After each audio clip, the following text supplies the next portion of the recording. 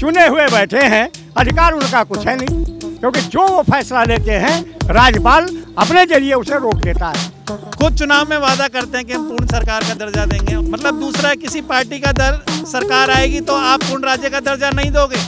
जनता की राय को समझो नहीं तो जनता तुम्हें भारत से भी उखाड़ करके फेंकेगी। नमस्कार दोस्तों मैं हूँ रवि कौशल और आप देख रहे हैं न्यूज़ क्लिक दिल्ली में मुख्यमंत्री बनाम एलजी की लड़ाई अब सड़कों पर उतर आई है और आज दिल्ली के जंतर मंतर पर वामपंथी पार्टियों ने दिल्ली सरकार के समर्थन में अपना प्रदर्शन किया है। हमने इन प्रदर्शनकारियों से बात की तो उन्होंने बताया कि केंद्र सरकार का नया अध्यादेश न सिर्फ़ अलोकतांत्रिक और संविधान विरोधी है, बल्कि फेडरल स्ट्रक्चर के खिलाफ भी है।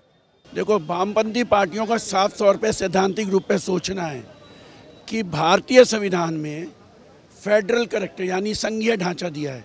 जब संघीय ढांचा दिया है तो सुप्रीम कोर्ट के तीनों जजमेंट के जो जजमेंट के जो तीनों पॉइंट हैं, वो भी यही कहते हैं।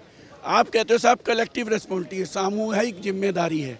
सामूहिक ज़िम्मेदारी में चीफ सेक्रेटरी और दिल्ली का होम सेक्रेटरी क्या दिल्ली के मुख्यमंत्री से ऊपर हो सकता है? नहीं हो सकता ना। तो सामूहिक ज़िम्मेदारी का मतलब ये भी नहीं है कि एलजी साहब फाइलें लेके बैठ जाएँ। बाकायदा सुप्रीम कोर्ट ने इससे पहले भी एक जजमेंट दिया कि लेफ़्ट गवर्नर्स जो lieutenant governor within time frame फाइलों को क्लियर करें। देखिए ये केवल दिल्ली सरकार का मसला नहीं है। ये हमारे जो अधिकारों की बात है और जो दिल्ली को अधिकार मिलना चाहिए जिस जिस वो हमें छीने जा रहे हैं। और भाजपा की सरकार जिस तरीके से तानाशाही कर रही है तो इस तानाशाही ऐसे करेगी तो हम उसको चलने नहीं देंगे।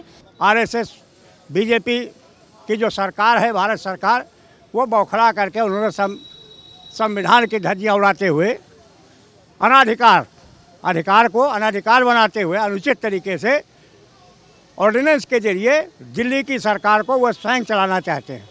अध्यादेश ला के सुप्रीम कोर्ट के ऑर्डर का अवमानना ये मोदी सरकार और अमित शाह का सरकार बहुत कैटेगरिकली कह रही है कि हम अपना पावर मसल फ्लेक्स करेंगे। गलत तरीके से करेंगे और हिंदुस्तान में हम जनता के मैंडेट को बिना मानते हुए, अपना मसल पावर का मसल उसको हम फ्लेक्स करेंगे और उसके लिए जितने गैर संविधानिक तरीके हैं, सारे हथकंडे हम अपनाएँगे। बीजेपी जब असेंबली का चुनाव होता है तो कहती है कि हम दिल्ली को पूर्ण राज्य का दर्जा देंगे। तो पूर्ण राज्य का दर्जा देने से संबंधित क्या बात है? मतलब दूसरा किसी पार्टी का दर, सरकार आएगी तो आप पूर्ण राज्य का दर्जा नहीं दोगे? खुद चुनाव में वादा करते हैं कि हम पूर्ण सरकार का दर्जा देंगे और अब जो है उनको काम नहीं करने देंगे। तो ये मूल रूप से लोकतंत्र के खिलाफ है हमारे संविधान के खिलाफ है। जो संविधानिक जो संविधान अपनाया गया सन उन्नीस सौ पचास में इक्यावन में बाबा साहब अंबेडकर का उसके भावनाओं के खिलाफ है विपरीत है। इसलिए वामपंथी पार्टी और मजदूर संगठन आज विरोध कर रहे हैं। नहीं चलेगा, नहीं चलेगा।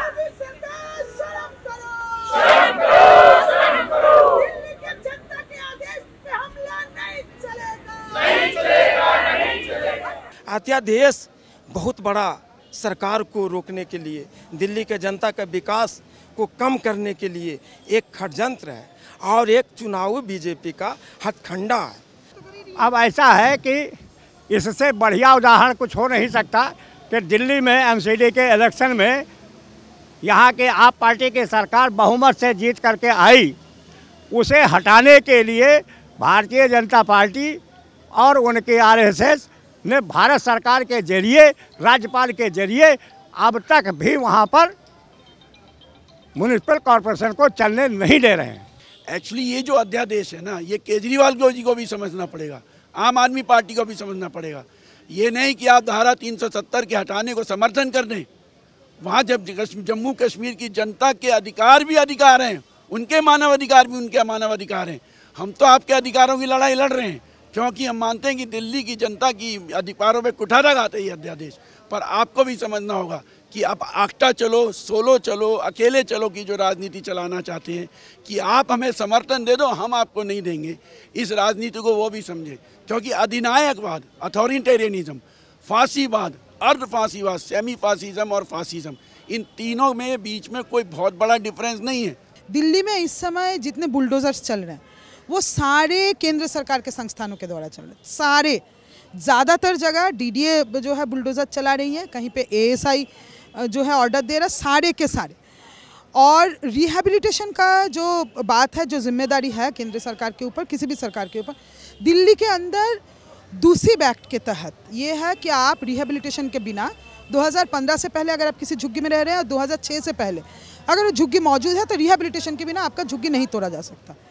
लेकिन आ, हम लेकिन हम देख रहे हैं दिल्ली में कि इसका एक तरीके से उल्लंघन करके डीडीए जब मन चाहे बुलडोज़र ला रही है और कभी भी कह दिया जा रहा है कि ये लिस्ट तो है ही नहीं मतलब दूसिब के तहत आने के लिए। उस दिल्ली सरकार का जो दूसिब का जो मैंडेट है कि वो रिहैबिलिटेशन देगा उसके लिए दिल्ली सरकार का जो कार्य क्षेत्र है उसका जो पावर है उसका जो डिसीज़न मेकिंग उसको बढ़ना होगा। नहीं तो ये संभव नहीं है दिल्ली के अंदर। केजरीवाल ने आम आदमी पार्टी में 2014 में भी किए थे और अभी नगर निगम चुनाव से पहले भी किए।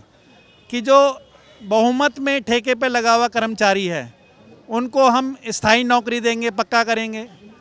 तो अगर आप सर्विसेज़ उनसे ले ही लेंगे तो वो नौकरी से संबंधित कुछ भी काम कर ही नहीं पाएँगे। तो फिर उनकी जवाबदेही कैसे बनेगी? दिल्ली सरकार का इसमें से होता। तो जनता के ओर से, जनता ने चुना है दिल्ली सरकार को, जनता के ओर से जो जवाबदेही मांगना, वो दिल्ली सरकार को भी मांगा जाता है। दिल्ली सरकार और अकाउंटेबल होता, बहुत मदद होती। में सीधी सारी बात है कि ये इन तीनों प्रवृत्तियों के तहत बीजेपी चल रही है। जहाँ उनकी सरकार नहीं है, वो उसको गवर्नर या उपराज्यपाल के ज़रिए चलाना चाहते हैं। जहाँ उनकी सरकार है, वहाँ पे वो सारी संस्थाओं को तहस नहस कर देते हैं, स्वायत्त संस्थाओं को। इसलिए हम चाहते हैं कि इस अध्यादेश को तुरंत वापस लिया जाए। ये अध्यादेश दिल्ली की जनता के अधिकारों पर कुटारा घात है। केंद्र सरकार के संस्था ने जिस ताकत के साथ जनता पे उतरती है जिस ताकत के साथ। आपका कहीं डिमोलिशन का ऑर्डर है तो सीआरपीएफ से लेके पैरामिलिट्री से लेके पुलिस मैंने देख के लगता है कि युद्ध क्षेत्र बना गया बन गया है वो। जनता के राय को समझो नहीं तो जनता तुम्हें भारत से भी उखाड़ करके फेंकेगी। ये बहुत दिन चलने वाला नहीं है, क्योंकि जनप्रतिनिधियों का बाईपास करके सरकार चलाने की जो प्रक्रिया है, वो दिल्ली में कोई मान्य नहीं होगा। इसलिए मार्क्सवादी कम्युनिस्ट पार्टी और तमाम लेफ़्ट पार्टियों ने कि बहुत स्पष्ट मांग है कि दिल्ली को पूर्ण राज्य का दर्जा होना चाहिए, सरकार को देना चाहिए, जिससे जनता के, जनता को अधिक से अधिक सुविधाएँ प्रदान की जा सकें। अगर दिल्ली की जनता केजरीवाल से खुश नहीं होगी तो अगले चुनाव में हरा देगी। मगर आप गलत तरीके से अध्यादेश ला करके आप लोकतंत्र की हत्या कर रहे हैं। संविधान के अंदर जो मूल भावना है संघवाद की फेडरल स्ट्रक्चर की उसकी आप हत्या कर रहे हैं। ऐसी स्थिति में यह प्रोटेस्ट बहुत ज़रूरी है और देश भर में के लोगों के सामने हम अपना बात रखना चाहते हैं कि ऐसी सरकारें जहाँ पर कोई अधिकार ही ना हो। केवल वोट डाल दे करके जनता चुन दे और चुनने के बाद सरकार कोई और ही चलाए और प्रतिनिधि कोई और बना रहे तो फिर जनता का भला कहाँ होने वाला?